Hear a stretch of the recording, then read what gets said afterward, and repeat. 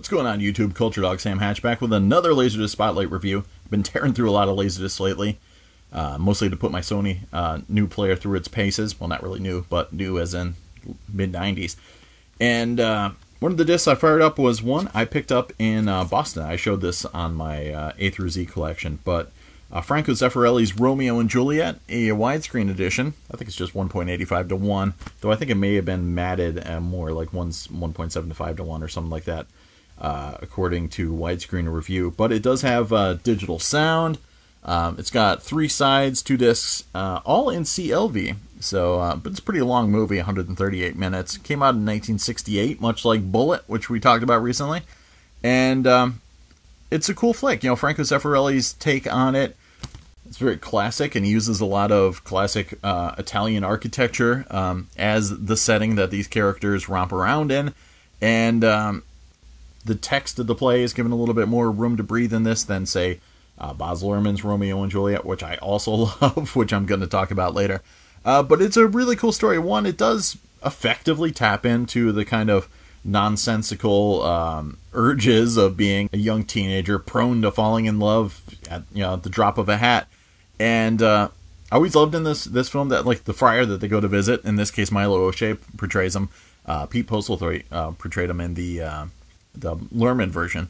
But I love how he's pretty much the um, the stand-in for the audience. Like if you're rolling your eyeballs and uh, groaning over, like, "Oh, come on! Like really, this is the same dude that was, you know, just saying how he's gonna die because he lost his Rosaline and and all this stuff, and now he's in love with this other girl and all this stuff. The the friar is our voice, our mouthpiece for those uh, kind of sentiments, and it's great because it's so self-aware. Shakespeare stuff is great like that. It's you know layered enough that uh, if there's some absurdity in the story being told, there will be a character that will comment on it, which is very cool. If you haven't seen it, it's this uh, tragic romance set amidst a political scene uh, with warring clans, kind of like the Hatfields and the McCoys, in this case, the Montagues and the Capulets, and uh, how everyone within their charge you know, hates people from the other clan and uh, Romeo is in a Montague and Juliet is a Capulet, and they accidentally fall in love when Romeo and his friends um, stealthily crash a Capulet party, and you know quickly they fall in love. They decide to get married, and but it's cool. It's got a lot of kind of political undertones. Uh, the friar, who again knows that this is a dumb idea and these guys are probably going to get over each other pretty quickly, um, is smart enough to recognize the political ramifications of coupling these two and how it could possibly put an end to, uh, you know, I don't know, decades long strife. And um, it's cool. Leonard Whiting and uh, Olivia Hussey are really great as the uh, titular characters, and uh, it's one of the rare occasions when actual, you know, young-ish people were playing Romeo and Juliet. Um, there's a lot of uh, great uh, costume design, and even on this laserdisc, you know, I was impressed with a lot of the um, the detail. And this was a 1996 uh, Pioneer release, and uh, despite the fact that it's got a blurry cover, it's it's pretty pretty darn detailed. I, I, noticed in widescreen review it had like maybe like a low picture rating, maybe a three out of five or something like that. Um, was actually really impressed with the amount of detail in in like the stone architecture uh, surrounding these characters and the uh, the embroidery and their costumery. Um, Juliet's nurse has one scene where like a kind of like multiple toned uh, garb, and you can clearly see the the kind of color differentiations. A lot of the kind of stone background work would be easy to like smear and look ugly on Laserdisc, but a lot of it just uh, was very solid. Uh, I fired it up on CRT and then also on my projector. It looked great on my projector. I was really actually impressed with uh, with it. Of course, close-ups look a lot more defined than than uh, you know long shots, but uh, even the, the long shots are were pretty good looking. Um, you know, there was a few moments when I could be fooled into thinking it was DVD. Uh, sound wise, it was a mono release. Uh, it got great Nino Rota score, and dialogue's always intelligible, and I think the flesh tones look great. I thought uh, you know color balance was very good throughout.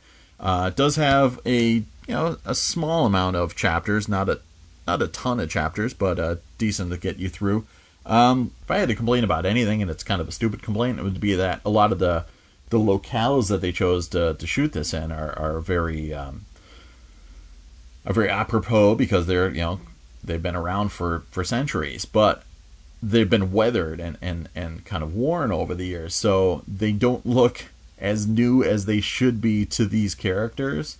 Uh, it'd be like if you know you were doing a, a, domestic scene in an apartment, but it's an apartment that had laid abandoned for like you know three centuries or something like that, and you know the, the walls were all decrepit and falling down. So it would seem kind of like absurd for you to doing this like modern conversational piece amidst this you know kind of decrepit you know, setting. So it's not as bad as I make it out to be, but it's a it's a little weird. You know, you're like, oh, cool. That the verisimilitude is off the chart because they're actually in these ancient Italian locations. But then you're thinking, well, would they look that way at this time in the 1600s or whatever?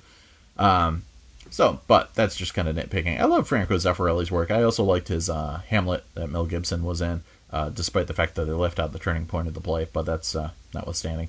And again, if you don't want to see uh, it, uh, the the play done in uh, in a kind of modern trappings like Baz Luhrmann's version. Uh, this is this is going to be your bag. A lot of kind of classical, um, you know, costumery, etc. And uh, yeah, it's great looking. A lot of the uh, colors, uh, you know, muted though they may be at sometimes, do have moments where they pop. And uh, there were some great, um, you know, sky skyline scenes and everything like that in certain parts with uh, with the kind of gradations of color during during dusk, etc. Um, so yeah, I hardly recommend it. I've seen it a lot of times. Uh, it's been a while since I've uh, fired it up, and uh, I figured after buying it in Boston years ago, I might as well finally get it up and running and check it out. So uh, yeah, good, uh, good late-ish or mid to late-ish release, you know, 1996. And if you're a fan of the film, yeah, obviously it's available freely on DVD, and I'm guessing Blu-ray. I'll have to look into that, but definitely couldn't go wrong with the Laserdisc for sure. All right, well, I'll be back with some more reviews, and we'll talk.